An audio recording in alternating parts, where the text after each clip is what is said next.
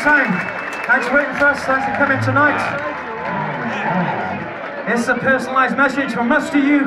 For everybody in the room, this is called Motorcycle Emptiness.